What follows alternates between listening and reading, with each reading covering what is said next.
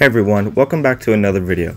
Today's video is going to be on 10 unique things Ark Mobile has that other platforms such as Xbox, PlayStation, PC, Nintendo Switch don't have. Ark Mobile is such an amazing game and we are so lucky to have features that other Ark players don't get to have. Before we get into today's video, I wanted to make sure that you're subscribed. It really does help the channel out and we are trying to reach 1000 subscribers by June 3rd. I hope you enjoy the video and let's get into it.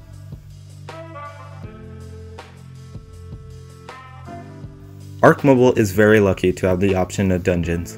Dungeons are to replace the boss fight from other platforms and prove if you are worthy enough to get to the boss in Ark Mobile. Dungeons are available to every player once they reach level 40. The dungeons rotate each week, so make sure you look at a map before you go in.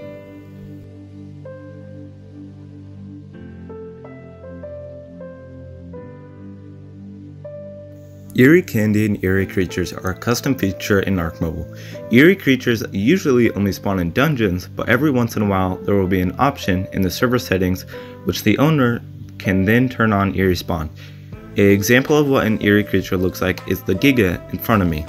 A section of the creature's body changes colors.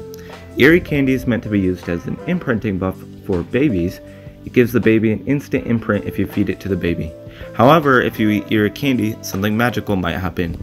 Maybe pooping out an egg, seeing rainbows, or you can change body colors. And apparently, this Eerie candy really wants me to see rainbows right now. And then, there we go. We changed colors, and it look just like that.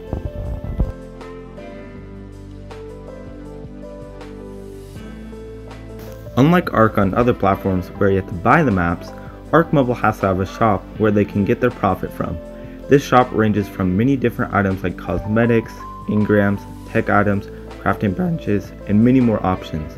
Here are a few of the cosmetic options I own.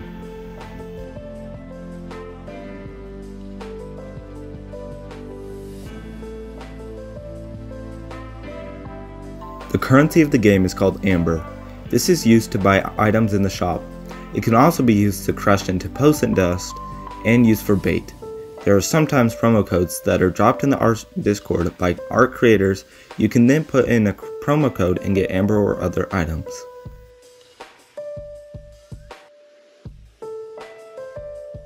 Ark Mobile Admin Console is different from Ark's Admin Console on other platforms. For single player, you have to buy the admin pass. In unofficial servers, you have to put in a code made by the owner. There are two admin consoles on unofficial. This one right now is my favorite because it shows the server stats who's on, and who's banned. You can also kick people or ban people and send messages to the whole server.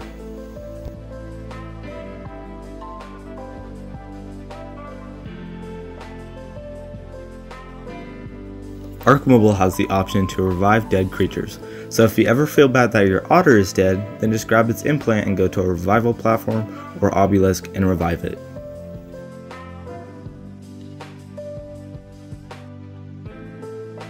This little fella is interesting. It looks like he mixed an oven with a grill and put LED lights on it.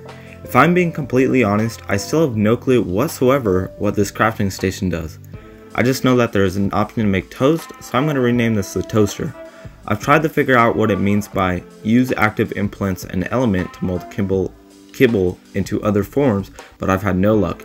However, I will put some more time and research into this item and share with you guys what I found out in the future.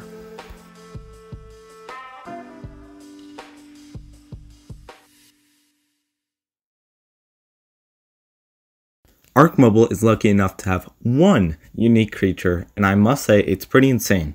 Everyone knows that the unicorn is in Ark, but Ark Mobile had to step it up and make a fire unicorn called the Noctis.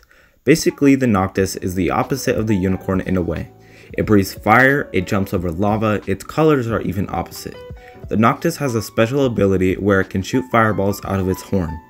The Noctis can only be found in a dungeon, but it is a 1 in 1000 chance that you can find it. I believe. However, there are special events where the chance is a lot more likely, but still, the Noctis is the coolest and rarest creature in Ark Mobile.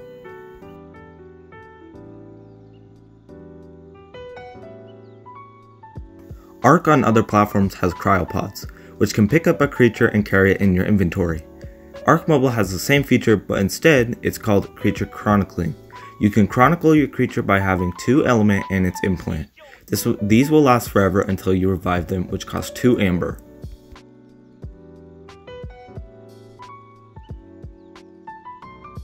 As I mentioned earlier, dungeons are a way to show if you're worthy enough to fight the bosses in Ark Mobile. Currently, there are 9 bosses in Ark Mobile, but 2 of them are lame and aren't unique. Each boss has a custom room where you have to beat them to get element. My favorite boss is the Argentustus.